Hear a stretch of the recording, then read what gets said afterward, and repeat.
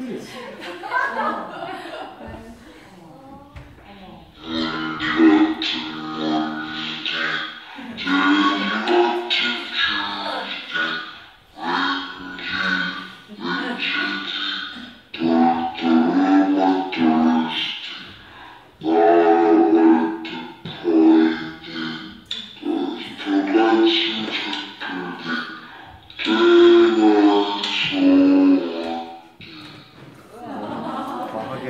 네, 느닷없이 카페에 이런 목소리가 올라오는 거예요.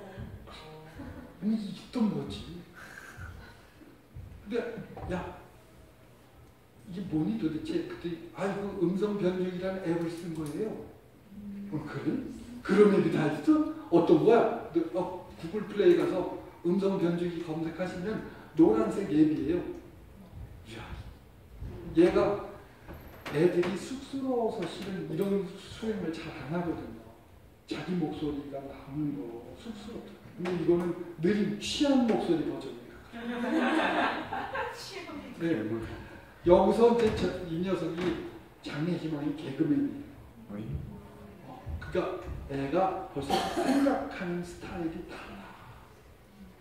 야, 얘는 개그맨 되면 정말 깜짝 놀랄 작품들을 만들어내겠다.